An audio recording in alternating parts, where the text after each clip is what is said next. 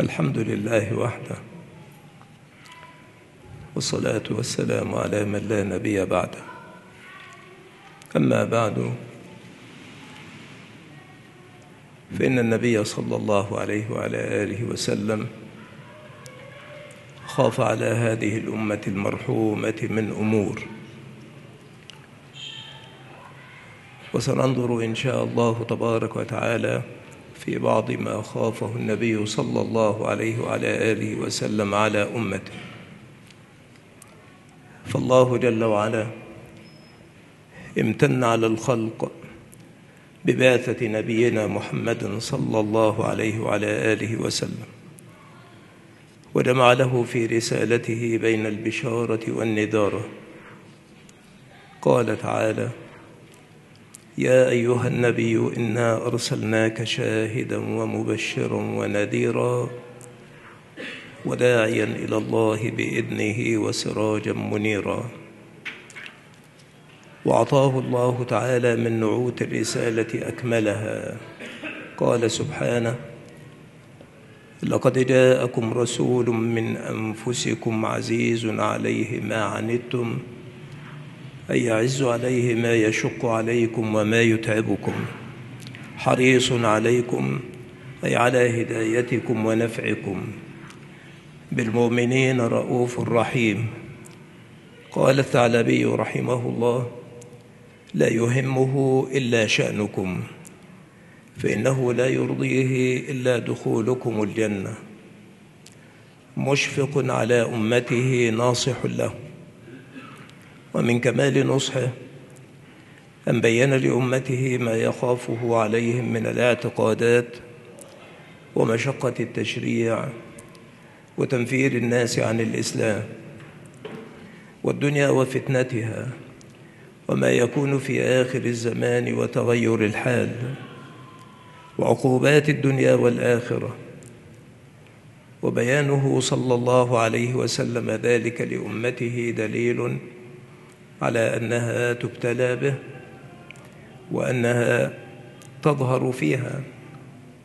فأشد ما خافه النبي صلى الله عليه وعلى آله وسلم على أمته من الاعتقادات وقوعها في الرياء بتزيين العبادات للآخرين. فقال صلى الله عليه وعلى آله وسلم إن أخوف ما أخاف عليكم الشرك الأصغر. قالوا وما الشرك الأصغر يا رسول الله؟ قال الرياء رواه أحمد. بل خافه صلى الله عليه وسلم عليهم أكثر من خوفه عليهم من المسيح الدجال. قال صلى الله عليه وعلى آله وسلم ألا أخبركم بما هو؟ أخوف عليكم عندي من المسيح الدجال؟ قالوا بلى. فقال الشرك الخفي. أن يقوم الرجل يصلي فيزين صلاته لما يرى من نظر رجل وإذا كان خوفه على الأمة من الشرك الأصغر شديدا فما الظن بخوفه صلى الله عليه وسلم على أمته من الشرك الأكبر. قال الإمام ابن القيم رحمه الله التوحيد ألطف شيء وأنزهه وأنظفه وأصفاه فأدنى شيء يخدشه ويدنسه ويؤثر فيه فالتوحيد كأبيض ثوب يكون يؤثر فيه أدنى أثر وكالمرآة الصافية جدا أدنى شيء يؤثر فيها. وشريعة نبينا محمد صلى الله عليه وعلى آله وسلم خاتمة الشرائع. اختصت بالكمال والسهولة واليسر. قال سبحانه يريد الله بكم اليسر ولا يريد بكم العسر. وبهذا الأصل العظيم بعث النبي الكريم صلى الله عليه وعلى آله وسلم لهذه الأمة. قال صلى الله عليه وعلى آله وسلم بعثت بالحنيفية السمحة. فالنبي صلى الله عليه وعلى آله وسلم من حرصه على هذه الأمة أن يصيبها أدنى ما يؤثر في اعتقادها أو يحيط بعباداتها أو يدنس معاملاتها بين صلى الله عليه وعلى آله وسلم ما يخشاه عليها من ذلك. وقد خشي صلى الله عليه وعلى آله وسلم على أمته ما يضاد السهولة واليسر من العنة والمشقة بأن تزاد عليهم الفرائض فيعجزوا عنها أو أن تكثر عليهم الأوامر فيقصروا فيها. فراجع ربه ليلة الإسراء والمعراج لما فرضت الصلاة خمسين وسأل ربه التخفيف لهذه الأمة حتى صارت خمس صلوات كما في الصحيحين. وكان صلى الله عليه وعلى آله وسلم يدع بعض الأعمال مخافة أن تفرض على الأمة. قالت عائشة رضي الله عنها إن كان رسول الله صلى الله عليه وسلم لا يدع أن يترك العمل وهو يحب أن يعمل به خشية أن يعمل به الناس فيفرض عليهم. متفق عليه. وقد يعمل صلى الله عليه وعلى آله وسلم العمل الصالح فإذا تسابق الناس عليه وهو شاق لم يفعله معهم لئلا يفرض عليهم. فقام ليالي من رمضان في المسجد فأتم الناس بصلاته فترك الخروج عليهم ثم قال خشيت أن تفرض عليكم فتعجزوا عنها. النبي صلى الله عليه وعلى آله وسلم قام عدة ليال قيام رمضان في المسجد وصلى بصلاته جمع من أصحابه فلما كثروا لم يخرج إليهم. ثم علمهم صلى الله عليه وعلى آله وسلم أن امتناعه عن الخروج إليهم والصلاة بهم كان له سبب وهو خشية أن تفرض عليهم تلك الصلاة فيعجزوا عنها. فالنبي صلى الله عليه وعلى آله وسلم كما أخبرت عائشة رضي الله عنها خرج ليلة من جوف الليل فصلى في المسجد وصلى رجال بصلاته فأصبح الناس فتحدثوا فاجتمع أكثر منهم فصلوا معه فأصبح الناس فتحدثوا فكثر أهل المسجد في الليلة الثالثة فخرج رسول الله صلى الله عليه وعلى آله وسلم فصلى فصلوا بصلاته ائتموا به.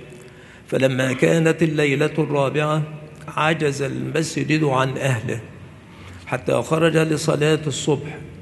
فلما قضى الفجر أقبل على الناس فتشهد ثم قال أما بعد فإنه لم يخف علي مكانكم ولكني خشيت أن تفرض عليكم فتعجزوا عنها. فتوفي رسول الله صلى الله عليه وعلى آله وسلم والأمر على ذلك. متفق عليه.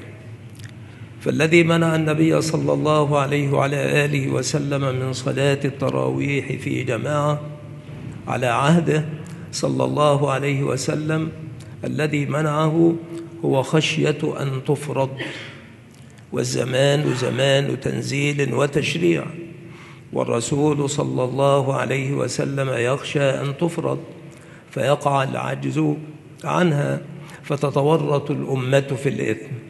فتوفي رسول الله صلى الله عليه وعلى آله وسلم والأمر على ذلك. ثم كان الأمر على ذلك في خلافة أبي بكر وصدرا من خلافة عمر رضي الله عنهما. انتفى المانع بموت رسول الله صلى الله عليه وعلى آله وسلم. وظل المقتضي للصلاة في جماعة بإمام واحد في ليالي رمضان قائما. فعاد عمر رضي الله عنه إلى الأصل فجمعهم على أبي بن كعب رضي الله عنه. عن عبد الرحمن بن عبد القاري أنه قال خرجت مع عمر بن الخطاب رضي الله عنه ليلة في رمضان إلى المسجد فإذا الناس أوزاع متفرقون يصلي الرجل لنفسه ويصلي الرجل فيصلي بصلاته الرهط فقال عمر إني أرى لو جمعت هؤلاء على قارئ واحد لكان أمثل أي لكان أفضل. ثم عزم فجمعهم على أبي بن كعب. ثم خرجت معه ليلة أخرى والناس يصلون بصلاة قارئهم. قال عمر نعم البدعة هذه. والتي ينامون عنها أفضل من التي يقومون. يريد آخر الليل وكان الناس يقومون أوله. أخرجه البخاري. استنبط عمر رضي الله عنه أن جمعهم على إمام واحد أفضل من أن يكونوا أوزاعا متفرقين. وهذا الذي استنبطه إنما استنبطه من تقرير النبي صلى الله عليه وعلى آله وسلم من صلى معه في تلك الليالي التي صلوا خلفه فيها. وإن كان كره ذلك لهم وكانت الكراهية خشية أن يفرض عليهم. لما مات النبي صلى الله عليه وعلى آله وسلم حصل الأمن من أن تفرض صلاة بعد وفاة النبي صلى الله عليه وعلى آله وسلم. ورجح عند عمر رضي الله عنه ذلك لما فيه الاختلاف من افتراق الكلمة ولأن الاجتماع على واحد أنشط لكثير من المصلين. قد يقول قائل ولكن أبا بكر رضي الله تعالى عنه لم يصلها في جماعة بعد النبي صلى الله عليه وعلى آله وسلم. النبي صلى الله عليه وعلى آله وسلم صلاها في جماعة وأما الصحابة في صلاة الليل في قيام رمضان في المسجد عدة ليال ثم امتنع خشية الفرضية. وظل الأمر على ذلك حتى توفي الرسول صلى الله عليه وعلى آله وسلم. فلما كان عهد أبي بكر رضي الله تعالى عنه لم يفعل ذلك الذي فعله عمر بعد رضي الله عنه ما السبب؟ السبب أن أبا بكر رضي الله عنه لما تولى الخلافة كانت الردة وكان أمر مانع الزكاة على أشده فانشغل رضي الله تبارك وتعالى عنه بحرب المرتدين ومانع الزكاة وكانت الأمور في غاية الصعوبة والتعقيد مع قصر مدة خلافته صلى الله عليه وعلى آله وسلم فلم تكن أكثر من سنتين وعدة أشهر رضي الله تعالى عنه. فلم يكن هناك مجال لأن يصلي المسلمون صلاة القيام في المسجد وراء إمام واحد. وظل الأمر كذلك صدرا من خلافة عمر رضي الله تعالى عنه. فلما استقرت الأحوال وجاءت الفتوحات واستقر أمر المسلمين ووقع كثير من الهدوء والأمن دخل عمر المسجد فوجدهم يصلون أوزاعا متفرقين. يصلي الواحد لنفسه ويصلي الرهط وراء الرجل فقال لو أني جمعتهم على إمام واحد لكان أفضل.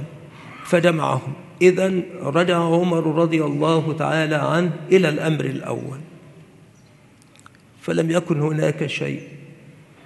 هي سنة رسول الله صلى الله عليه وسلم وإنما امتنع النبي صلى الله عليه وعلى آله وسلم عن الخروج إليهم خشية الفرضية. ثم بعد ذلك جاء أبو بكر ولم يكن هناك مجال لذلك لانشغال الأمة كلها بما وقع من الردة فقد انتقض الأمر في الجزيرة وارتد من كان أسلم من القبائل حتى لم يبق على الإسلام إلا مكة والمدينة والطائف وبعض القبائل المتناثرة وعمت الردة أنحاء الجزيرة فاضطر أبو بكر رضي الله عنه والمسلمون إلى الجهاد في سبيل الله لإعادة الأمر إلى نصابه مع قصر مدة خلافة الصديق رضي الله عنه وانشغل الفاروق رضي الله عنه في صدر خلافته بأمر الفتوحات وتوضيض أركان الدولة فلما استقر الأمر رجع إلى ما كان عليه النبي صلى الله عليه وعلى آله وسلم. وقد كان النبي صلى الله عليه وعلى آله وسلم يعمل العمل الصالح فإذا تسابق الناس عليه وهو شاق لم يفعله معهم لئلا يفرض عليهم. فقام ليالي من رمضان في المسجد فأتم الناس بصلاته فترك الخروج عليهم ثم قال خشيت أن تفرض عليكم فتعجزوا عنها. متفق عليه. وكان لا يعمل أمام أصحابه أعمالا مخافة أن يثقل على أمته. قالت عائشة رضي الله عنها عن الركعتين بعد العصر كان يصليهما ولا يصليهما في المسجد مخافة أن يثقل على أمته وكان يحب ما يخفف عنه. رواه البخاري. وكان يختار لنفسه ولأمته ما كان أيسر وأسهل من غير أن يقارب إثما. قالت عائشة رضي الله عنها ما خير رسول الله صلى الله عليه وسلم بين أمرين إلا أخذ أيسرهما ما لم يكن إثما فإن كان إثما كان أبعد الناس منه. متفق عليه. والإسلام يتألف الناس. ورغبهم في الدخول فيه لما فيه من سعادتهم في الدارين. والله جعل أحد مصارف الزكاة المؤلفة قلوبهم. قال سبحانه إنما الصدقات للفقراء والمساكين والعاملين عليها والمؤلفة قلوبهم. وكان صلى الله عليه وسلم يعطيهم من الفيء عطاء من لا يخشى الفقر. ويبذل أيضا للمسلمين ما يثبتهم على الدين. وخشي النبي صلى الله عليه وسلم على أمته ما ينفرها عن الإسلام فترك إعادة بناء الكعبة على قواعد إبراهيم بعد فتح مكة وقال مخافة أن تنفر قلوبهم. متفق عليه. والله تعالى زين الدنيا وهيأها وجعلها معبرا للآخرة. وقد خاف النبي صلى الله عليه وسلم على أمته أن تفتنهم الدنيا عن حقيقة الاستعداد لما بعدها فقال صلى الله عليه وسلم إن أكثر ما أخاف عليكم ما يخرج الله لكم من بركات الأرض. قيل وما بركات الأرض؟ قال زهرة الدنيا. متفق عليه. وخشي النبي صلى الله عليه وسلم على أمته التنافس على الدنيا أشد من خشيته على الأمة من الفقر. فقال صلى الله عليه وسلم والله ما الفقر أخشى عليكم ولكني أخشى أن تبسط الدنيا عليكم كما بسطت على من كان قبلكم فتنافسوها كما تنافسوها فتهلككم كما أهلكتهم. متفق عليه. والحياة دار اختبار وفتنة. يبتلى العباد كلهم فيها بأنواع الفتن. قال الرسول صلى الله عليه وعلى آله وسلم تعرض الفتن على القلوب كالحصير عودا عودا. رواه مسلم. قال الناوي رحمه الله أي تعاد وتكرر شيئا بعد شيء. وأخبر النبي صلى الله عليه وسلم أن الفتن كثيرة كمواقع القطر ومنها كبار ومنها فتن تموج كموج البحر وقد خشي صلى الله عليه وسلم على الأمة الوقوع فيها والتأثر بها. فقال صلى الله عليه وسلم إن مما أخشى عليكم شهوات الغي في بطونكم وفروجكم ومضلات الفتن. وكان صلى الله عليه وسلم يتعوذ بالله منها في صلاته ويقول وأعوذ بك من فتنة المحيا والممات. وأمر أصحابه بالتعوذ منها. قال زيد بن ثابت رضي الله عنه أقبل النبي صلى الله عليه وسلم بوجهه فقال تعوذوا بالله من الفتن. ما ظهر منها وما بطن. قالوا نعوذ بالله من الفتن ما ظهر منها وما بطن. رواه مسلم. والمسيح الدجال خلقه كبير. قال عنه تميم الداري رضي الله عنه لما رآه أعظم إنسان رأيناه قط خلقا. رواه مسلم. ويوشك أن يؤذن للدجال في الخروج. وإذا خرج يفر الناس منه في الجبال وفتنة الدجال فتنة كبيرة. قال صلى الله عليه وعلى آله وسلم ما كانت فتنة ولا تكون حتى تقوم الساعة أكبر من فتنة الدجال ولا من نبي إلا وقد حذره أمته وقد خشي صلى الله عليه وسلم على أمته منه. فقال غير الدجال أخوفني عليكم إن يخرج وأنا فيكم فأنا حديده دونكم وإن يخرج ولست فيكم فامرؤ حديد نفسه. والله خليفتي على كل مسلم. رواه مسلم. والعلماء الربانيون ورثة الأنبياء يخشون ربهم ويبينون للناس دينهم. وقد خاف النبي صلى الله عليه وعلى آله وسلم ممن يزين الباطل ويكتم الحق. قال صلى الله عليه وسلم أخوف ما أخاف عليكم الأئمة المضلون. وخوف الرسول صلى الله عليه وسلم على من يضل الأمة أشد من خوفه عليهم من الدجال. قال أبو ذر رضي الله عنه كنت أمشي مع رسول الله صلى الله عليه وسلم فقال لغير الدجال أخوفني على أمتي. قالها ثلاثا. قال قلت يا رسول الله ما هذا الذي غير الدجال أخوفك على أمتك؟ قال أئمة مضلين.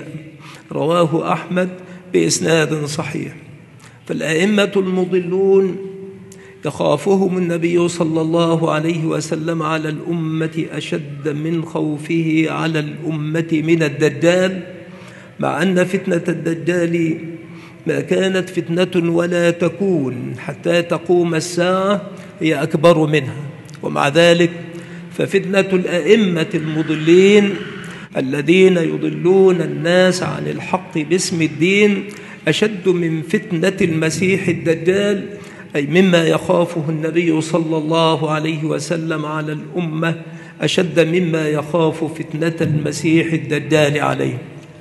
واللسان أعظم الجوارح خطرا وأقواها أثرا. وقد خاف النبي صلى الله عليه وسلم على أمته غوائل ألسنتها. قال سفيان بن عبد الله الثقفي رضي الله عنه يا رسول الله حدثني بأمر أعتصم به. قال قل ربي الله ثم استقم. قلت يا رسول الله ما أخوف ما تخاف علي. فأخذ بلسان نفسه ثم قال هذا. وكان النبي صلى الله عليه وسلم يخاف على أمته أن تعادل بالعقوبة أو تفاجأ بالعذاب. قالت عائشة رضي الله عنها كان النبي صلى الله عليه وسلم إذا تخيلت السماء وتخيلت من المخيلة وهي سحابة فيها رعد وبرق يخيل إليه أنها ماطرة. إذا تخيلت السماء تغير لونه وخرج ودخل وأقبل وأدبر فإذا مطرت سري عنه فعرفت ذلك في وجهه. قالت عائشة فسألته فقال لعله يا عائشة كما قال قوم عاد فلما رأوه عارضا مستقبل أوديتهم قالوا هذا عارض ممطرنا بل هو ما استعجلتم به ريح فيها عذاب أليم رواه مسلم. وكما خاف النبي صلى الله عليه وسلم علينا عقوبات الدنيا خاف علينا عذاب الآخرة. قال عبد الله بن عمرو رضي الله عنهما تلا النبي صلى الله عليه وسلم قول الله جل وعلا في إبراهيم رب إنهن أضللن كثيرا من الناس فمن تبعني فإنه مني ومن عصاني فإنك غفور رحيم. وقال عيسى عليه السلام إن تعذبهم فإنهم عبادك وإن تغفر لهم فإنك أنت العزيز الحكيم. فرفع يديه صلى الله عليه وسلم عليه وقال اللهم أمتي أمتي وبكى. فقال الله جل وعلا يا جبريل اذهب إلى محمد وربك أعلم فسله ما يبكيك. فأتاه جبريل عليه السلام فسأله فأخبره رسول الله صلى الله عليه وسلم بما قال وهو أعلم. فقال الله يا جبريل اذهب إلى محمد فقل إنا سنرضيك في أمتك ولا نسوءك. رواه مسلم. ويوم القيامة يكرمه ربه بالمقام المحمود فيأذن له في الشفاعة لديه. فما يلبث أن يخر ساجدا بين يدي ربه فيفتح الله عليه من محامده والثناء عليه شيئا لم يكن يحسنه قبل ذلك. ثم يقول له ربه يا محمد ارفع رأسك وقل يسمع لك وسل تعطى واشفع تشفع. فيقول يا رب أمتي أمتي متفق عليه. ولما وصف صلى الله عليه وسلم لأمته مشهد العبور على الصراط في الآخرة وتخطف الكلاليب للعباد تلقيهم في نار جهنم وما يعتري العباد عندئذ من الهلع والفزع والخوف على أنفسهم بين أنه في ذلك الموقف العظيم خائف على أمته فقال ونبيكم قائم على الصراط يقول رب سلم سلم رواه مسلم. إن الله تعالى حذر من اقتراف الذنوب كلها وأمر باجتنابها. قال سبحانه وذروا ظاهر الإثم وباطنه إن الذين يكسبون الإثم سيجزون بما كانوا يقترفون. وما خافه النبي صلى الله عليه وسلم على أمته أحق بالحذر. ومما وصى به النبي صلى الله عليه وسلم أمته التمسك بهديه والعض على نصائحه بالنواجذ قال صلى الله وسلم وبارك عليه عليكم بسنتي وسنة الخلفاء الراشدين المهديين من بعدي تمسكوا بها وعضوا عليها بالنواجذ. قل أطيعوا الله وأطيعوا الرسول.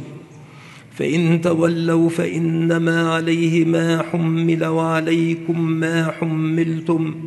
وإن تطيعوه تهتدوا وما على الرسول إلا البلاغ المبين. إن الإيمان لا تتم نعمته إلا إذا أنعم الله تبارك وتعالى به على العبد وثبته عليه حتى يلقاه. قال سبحانه اليوم أكملت لكم دينكم وأتممت عليكم نعمتي والنعم لا تتم إلا بالإيمان. وكل مسلم مأمور أن يدعو ربه بالهداية في كل صلاة. اهدنا الصراط المستقيم. وعلى المؤمن أن يخاف من فقد هذه النعمة أو نقصانها. فالزم هدي نبيك صلى الله عليه وسلم وسنته. واحذر مما حذرك منه وخف مما خاف عليك منه. لتأمن في الآخرة إذا خاف الناس.